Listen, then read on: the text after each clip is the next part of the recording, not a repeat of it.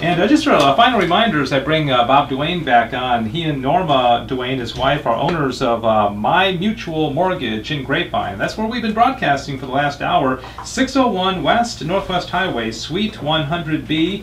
Grapevine, Texas 76051, very close, just to the west of Main Street and Northwest Highway in historic downtown Grapevine.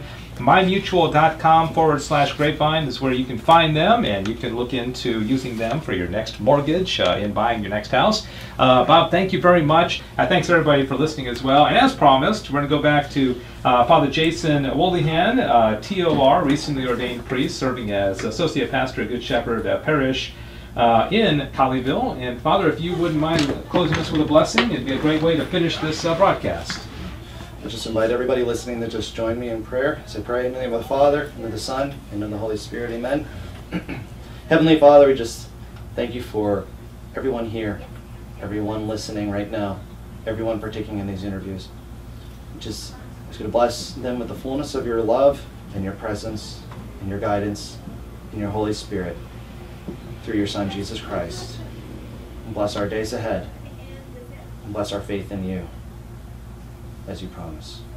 And may Almighty God bless you all, the Father, the Son, and the Holy Spirit. Amen. Thank you very much, Father Jason.